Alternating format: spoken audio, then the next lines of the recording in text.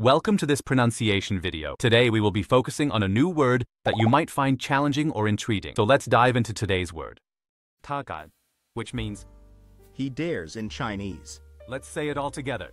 Tagan. Tagan. Tagan. One more time. Tagan. Tagan. Tagan. Thank you for joining us on this adventure in pronunciation. Remember, language is a journey, not a destination. Keep exploring, experimenting, and expanding your linguistic horizons. We'll see you next time.